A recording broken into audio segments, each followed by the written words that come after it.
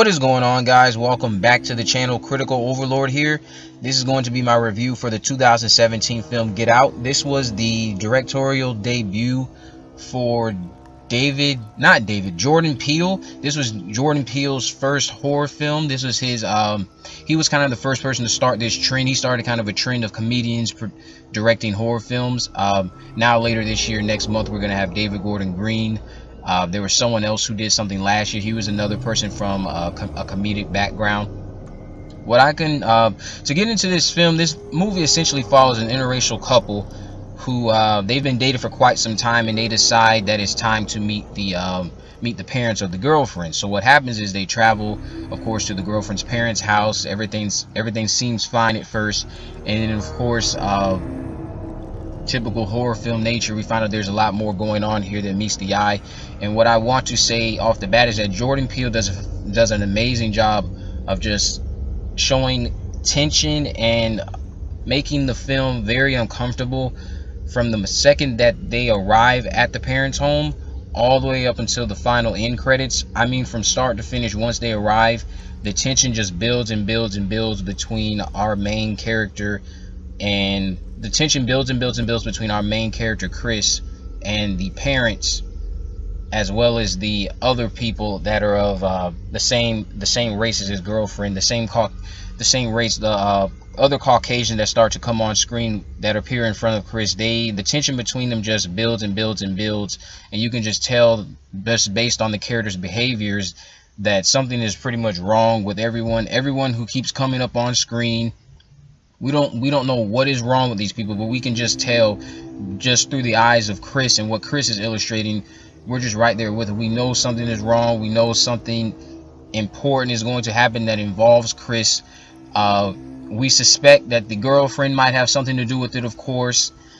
And what i appreciate the most about this movie is how it speaks so much to some of the things going on in today's society. Uh, but what it does is it kind of plays with it a bit and it kind of turns it on its head the people in this film are not exactly racist, as I would say. They're not racist. What happens is we come to find that they have like a sort of admiration towards black culture and their their admiration for it is kind of on some twisted uh sick sick type of way it's not it's not full on racism because nothing in the film came across as racism to me everyone in this film who is not black seems to have had seems to have an admiration for black culture and they believe that blacks hold the genetic advantage and that's all I'm going to say because I don't want to get into too many spoilers. I want to talk about some of the characters in this movie. Uh, the film, like I said, our main lead is Chris. Chris is portrayed by an actor who was also present in he he had a later role in um, Black Panther that came out earlier this year. I'm trying to remember his name. He had he had a small role in Black Panther. He's played by Daniel Kaluuya. I know I butchered that name. Um, and then he has his girlfriend Rose Armitage, who's played by Allison Williams. She has her. Uh, they're the she's the girlfriend of the family that Chris goes along to visit and get to know. She thinks she, I guess she just thought it was time for him to meet his parents, time to meet her parents. Uh, Rose, at first, you Rose seems very indifferent in the uh, in the earlier portions of the film, and then as it progresses, you start to see uh, where her loyalties lie. You find out a lot about her parents, who again, once the parents come into effect, and once they actually, really, where it all starts is there's a scene where Chris has an encounter with a with a cop that speaks heavily to the uh, the topics that go on today in, in society with black black black um black assailants and officers. So really it all starts right there with that uncomfortable encounter chris has with the officer.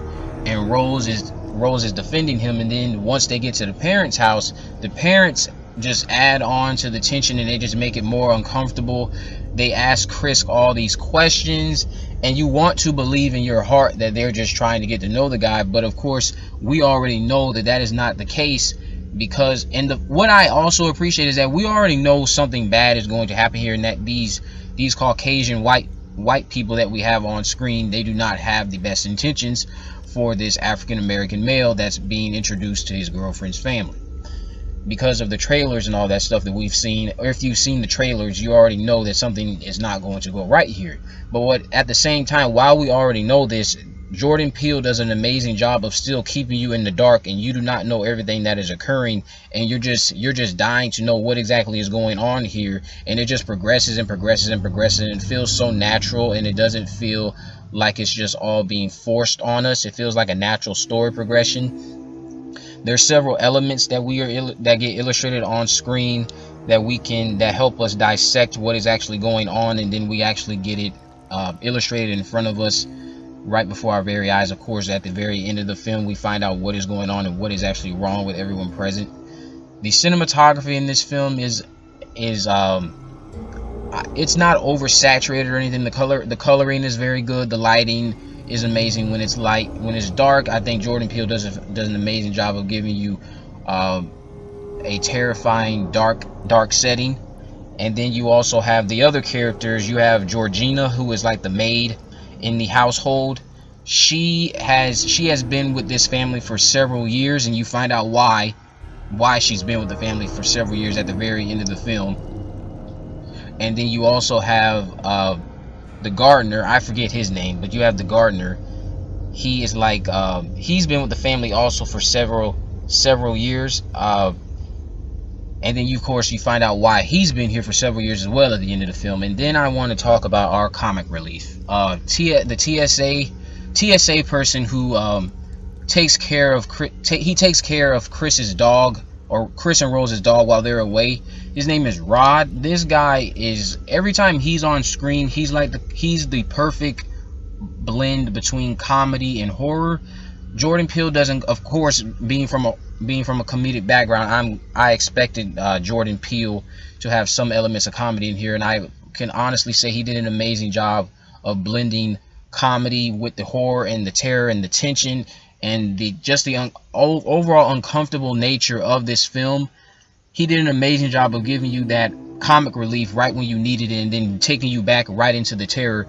And Rod does an amazing job of, of giving you those uh, funny aspects. Even when he's on, there's a scene where he's on the phone with Rose, and they have a they have like a comical back and forth, and it's just hilarious. The dialogue that Rod is giving. Rod is not an over the top comedic character.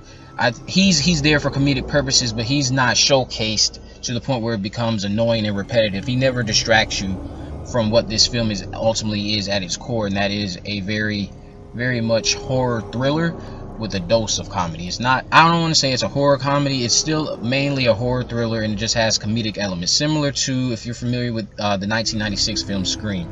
That's what I want to give Jordan Peele credit for. He did an amazing job of balancing comedy and horror. Um, like I was saying, the this the atmosphere in this movie is just very uncomfortable. It's the characters and the acting that everyone does. They do they give they do amazing performances. The uh, the performances of Rose to Chris to the parents to Rose's brother to Georgina they are all they are all just very well done. Everyone is so believable you feel like there's actually something legit wrong with them. Aside from you know it's all for entertainment but they do such an amazing job you feel like there's something actually wrong with these people. Uh, the music and the score that song that song that we hear at the very beginning of the film that is uh, probably the minute that song played after the opening, I kind of knew I was in for something a bit sick and twisted here. I didn't think it was gonna get as sick and twisted and be as uncom be as uncomfortable as it ultimately ended up being for me.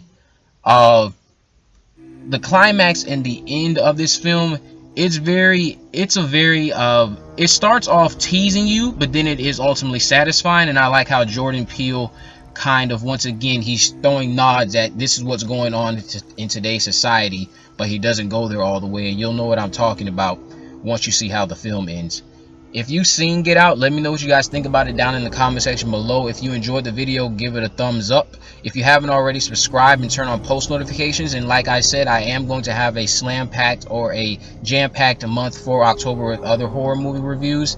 If you enjoyed the video, give it a thumbs up. Also, down in the description, I'll have links to all my social media accounts. I'm on Facebook, Twitter, and Instagram. You can message me there and let me know what movies you would like me to review for the month of October, or you can simply comment down below. I will see you guys for the next video.